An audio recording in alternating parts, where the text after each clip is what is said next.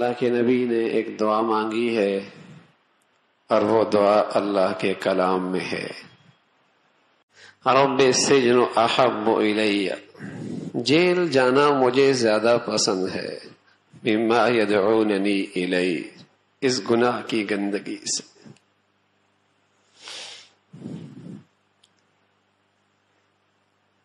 ऐसी गुनाह से नफरत, ऐसी इसकी बुराई और इसके पीछे तबाही और बर्बादी का यकीन। इस गुनाह के पीछे अल्लाह का गजब। इस गुनाह के पीछे हलाकत और बर्बादी के यक, का यकीन। ये रोशन दिल रखने वाला एक नबी ही कह सकता है। रोशन जमीर साफ़ दिल। उसी की बसीरत गुनाह की ये जिल्लत देख रही है कि गुनाह के पीछे क्या जिल्लत और रसवाई है। कहने लगे रब सजन अहब अल्लाह, इस गुनाह से बचा ले। अगर इसकी खातिर मुझे जेल जाना जा पड़े तो मुझे ये पसंद है। जेल जाना मुझे ज़्यादा पसंद है। तारीख, कोठरी, और ये भी कोई नहीं पता कब तक ये कैदो बंद की सोबतें बर्दाश्त करनी पड़ेंगी? इसलिए कि बसाओकात मेरे अज़ीज़ हो, कोई एक गुना उस पर शर्मिंदगी न हो। बस औकात वो अपनी इंसान, अपनी पूरी आकबत बर्बाद कर देता। कौन सा गुना, कौन सा गुना मौत के वक्त मुसीबत बन के आ जाए और बगैर कलमे से चला जाए? कौन सा गुना किस गुनाह के पीछे कोई ऐसी मुसीबत छुपी हो कि सारी ज़िंदगी की नेकियाँ सिफर हो जाए?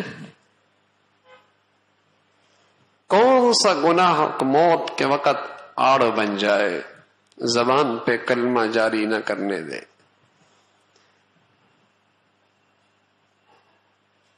जबान पर उस गुनाह का असर ज़ाहिर हो जाए, कौन सा गुनाह?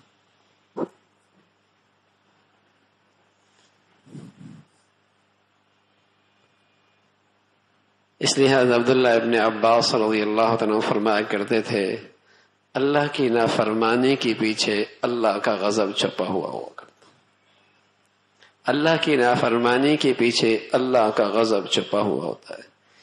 ऐसा शख्स हर वक्त खतरे में है, कब अल्लाह के गजब के निशाना बन जाए। कब, किस वक्त अल्लाह के गजब का निशाना बन जाए, कहीं तमाशा बन जाए। दुनिया के लिए तमाशा बन जाए। वाहवाह थी बड़ी वाहवाह थी। देर कहाँ लगती है तमाशा बनने में?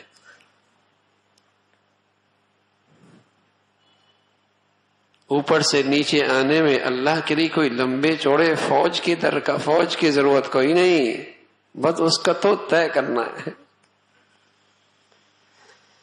तो अब्दुल्ला इबन अब्बास रज़ी अल्लाह फरमाया करते थे, न जाने कौन सा गुनाह उसके पीछे अल्लाह का गजब छुपा हुआ हो और वो इसके लिए हलाकत का बायस बन जाए।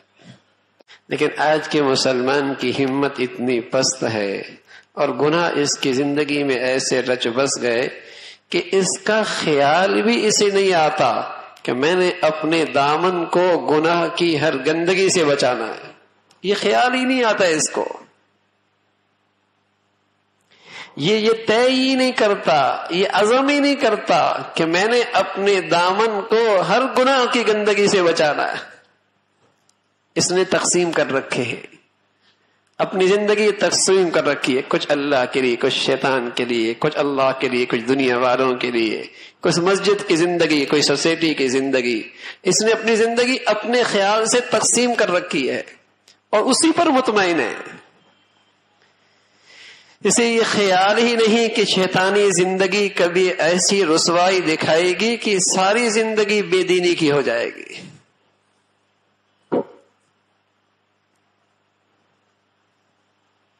सारे नतीजा सिफर हो जाएगा इसलिए कि हर गुनाह के पीछे अल्लाह का गजब छुपा है। अगर हमने उसे अपनी ज़िंदगी का हिस्सा बना लिया और ऐसी गुनाहों की जुल्मत ने मत मारी कि हमने गुनाहों की ज़िंदगी को अपनी तिजारत का सहारा बना लिया।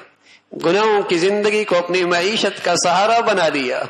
गुनाहों की ज़िंदगी को अपने स्टेटस का सहारा बना लिया। हमने गुनाहों की ज़िंदगी को अपनी तरक्की का सहारा बना लिया। ऐसी गुनाहों की जुल्मत ने मत मारी जो बर्बादी का सामान है, आज हमने उसे अपनी फलाह का सामान बना लिया।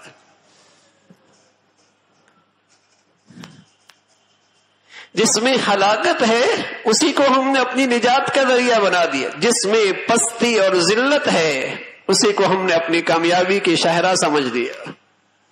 ऐसी गुनाहों की जुल्मत ने मत मारी है क्या की नाफरमानी बहुत बड़ी एहसान फरामोशी है।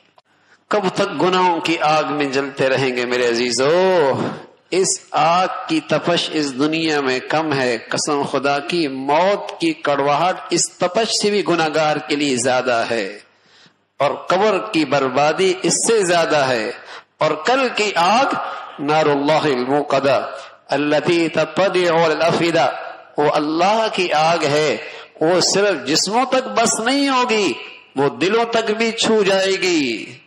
दिलों तक भी वो आग पहुँच जाएगी। दुनिया के आगे मिट्टी डालने से, पानी डालने से बुझ जाया करती है।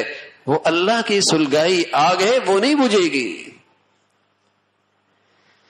दुनिया की आग भी गुनाहों की शक्ल में आदमी उसमें जल रहा है और मौत की कड़वाहट इस गुनाह की नहूस से इससे भी ज़्यादा तकलीफ़ दे होगी अब अरे सलात वसलाम फरमाया करते थे अल्लाह के मुजरिम की सांस जिस अंदाज से निकलती है, जमाना दुनिया वाले देख लें, उसे यूँ भी यारो मददगार छोड़ के भाग जाए। लेकिन अल्लाह ने पर्दे में रखा है, उसे पता है जो इससे बीत रहा है, जो इससे गुजर रहा है। फिर मिसाल दी, फरमाया, बारीक सा कपड़ा, दुबट्टा, अगर झाड़ियों में उलझ जाए और फिर उसे खींच कर निकाला जाए जैसे वो दुबट्टा तार तार हो जाता है ऐसी जब इसकी रूह निकलती तो जिसम इसके टुकड़े टुकड़े तार तार हो जाता। अल्लाह हिफाजत फरमाए अल्लाह महफूज फरमाए। जब ज़िंदगी में गुनाहों की आग में जलता है तो मौत की तखली तख, तलखी इस तपश से भी ज़्यादा। इससे भी ज़्यादा।